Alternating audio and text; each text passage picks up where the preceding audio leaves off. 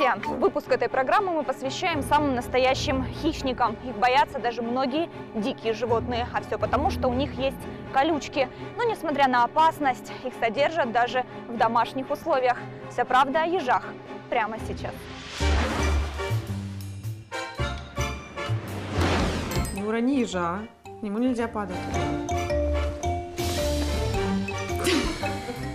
Африканский карликовый еж не встречается в дикой природе. Миниатюрные зверьки были специально выведены европейскими селекционерами в 1995 году для содержания в качестве домашних ручных животных. Взрослые карликовые ежики вырастают до 15 сантиметров и весят не больше 500 граммов. Средняя продолжительность жизни до 6 лет. В зимнюю спячку африканский карликовый еж не впадает. Это наш любимец.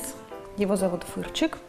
А, Он не лесной ежик, да, обыкновенный, который живет в лесу. Домашний. Это домашний. Домашний еж, э, домашний африканский еж альбинос. Вот Он такой вот у нас беленький, с красными глазками. Ему уже 5 лет, уже шестой год пошел. А завели мы его по, скажем так, моей женской прихоти, когда мы ожидали а, нашу дочь, младшего ребенка, который сейчас в садике. Ну вот очень мне захотелось почему-то ежика. Вот. Ну и муж сделал такой подарочек, мне принес ежонка. Совершенно, я бы сказала, неприхотливый, практически без запаха. Животное, в отличие, допустим, от э, резкого запаха хомяков или там морских свинок, возможно, да. А, живет он у нас а, на подстилочке, это древесные такие э, гранулы. Пьет водичку из паильника, а, кушает э, корм Корм кушает сухой для котят премиум класса. Мясо, а, кусочки фарша, да, а, какие-то, возможно, перепелиные яйца им дают. Также для того, чтобы сохранить их покров, хитин. В связи с этим покупают в зоомагазинах специальных тараканов, тараканов. Ну, если честно, они выглядят такие, как червяки. Мы первый раз, когда купили, когда он был сильно маленький, это было жутко. Такой червяк с хитиновым плотным покровом. А, ну, что надо сказать? Надо сказать, что наш ежик, Он фырчик, милый. он очень привереда в еде. Он совершенно не стал есть э, ничего, кроме корма. Он живет. Ночью он кушает, а утром он спит. Да, днем он ведет предположительно спокойный образ жизни, живет он у нас в такой а вот мягкой... ночью он начинает кушать и греметь, что мешает мне спать.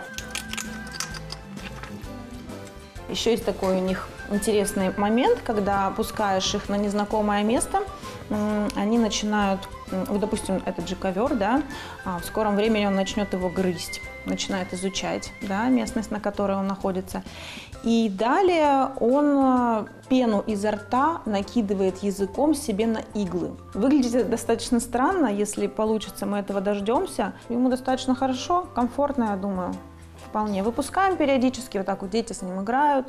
А, Это очень жи- такое животное, такое животное, которое может само себя защитить от тех же детей. Да? То есть это не хомячок, который можно затискать, задушить, задавить, не та же морская свинка.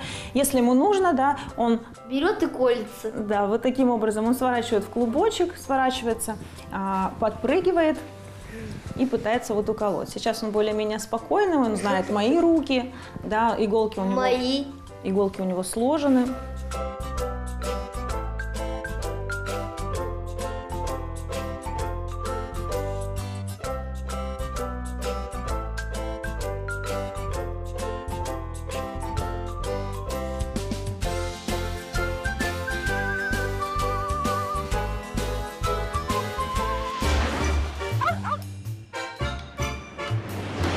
Лесной еж бывает переносчик и лептоспироза, он переносит и бешенство, и ежи могут э, иметь паразитов каких-то внешних. Если уже домой попал ежик, то обязательно нужно принести, если он из леса, то принести его на обработку в клинику, посмотреть, нет ли у него внешних каких-то паразитов, которые могут быть небезопасны как для семьи, так и для ежика. Поэтому ну, лучше много раз подумать, прежде чем принести тот, кто живет в лесу, домой. Есть э, сейчас ежиков, можно и купить уже одомашненных. Ежик – это ночное животное, нужно понимать изначально. все-таки это дикий, он хищник. То есть тут с кормлением нужно понимать, что э, сплошную там ягоду, фрукты ему не подходит, ему нужен белок животного происхождения. Так как в природе ежик кушает и червяков, он и кушает, и может и лягушку съесть, и может мышку поймать, скушать. Вот, также он, конечно, ягоды, фрукты кушает. Здесь с рационом нужно думать. И э, небезопасно его отпускать по всей квартире бегать, потому что, ну, в принципе, в квартире много для него может встретиться опасностей. Но где-то местоположение метр на метр ему нужно. О, вакцинацию у ежиков, к сожалению, нет.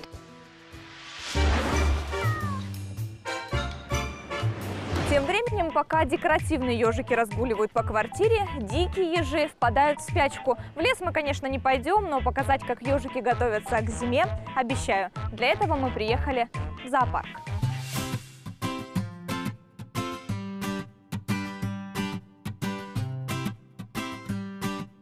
Пять уже спит, шестой вот молоденький, его принесли недавно раненого. Он собирается спать, но вот, видать, видать еще не, не, не наелся на зиму, еще подъедает. Но тем не менее, вот норку он себе уже строит. Как бы вот видно, что вот норка там, да, ну там на самом деле два домика. Один в одном, ну, с- и, и это, между стенками лежит еще это, листва там. По ежику видно, что вот он не очень активный, да, вот он смотрит, там, пытается себе гнездо. Сейчас вот закончится ну, работа контактного зоопарка, его занесут в тепло, и он сразу активизируется, то есть гораздо активнее станет. То есть как только понижается температура, ежи в дикой природе начинают искать места себе, ну, они обычно заготавливают себе места, где спать. Но вот это более активно поиск э, места где-нибудь спать. Это норки мышей, э, змей, если находят. Э, могут, в принципе, в небольших дуплах жить, если оно невысоко от земли. Как бы. Они ну, натаскивают туда э, листвы, ну, что, что в состоянии занести. Как бы. Во-первых, это дикое животное. Оно может укусить дома, да, как бы. У них э, в колючках очень много содержится клещей, прячутся которые там, которые при, когда человек приносит этого ежонка домой, а клещи отпадают в тепле, как бы расползаются по квартире, потом могут перелезть на человека, на ребенка. Плюс у них еще помимо того есть тоже свои скрытные заболевания, которые могут передаться человеку, там, животному домашнему, собаке, например, кошке, которые в свое время может потом передать человеку.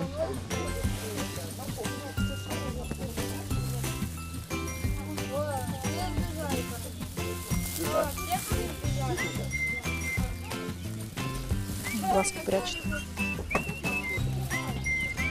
Вот у них вот тут в колючках очень много может содержаться всяких паразитов. В принципе, вот они у нас перезимовывают, как бы мы потом выпускаем их в лес.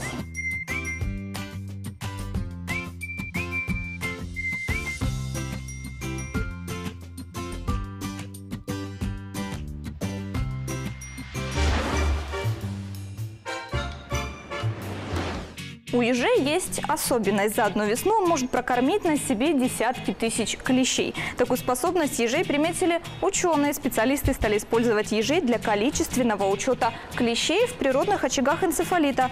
Существует даже особая единица учета, называемая ежечас, сообщают авторы энциклопедии. От себя хотелось бы добавить, что если вдруг вы захотите домой принести ежа, то хорошо об этом подумайте. Все-таки не всем животным бывает комфортно с человеком и наоборот. Кстати, о друзьях людей мы поговорим уже в следующем выпуске. Я вас познакомлю с очень интересной породой собак, поэтому не прощаемся.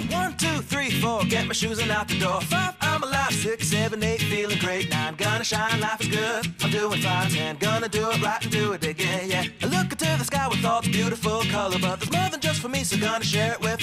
I got to show, to give, let out, I want.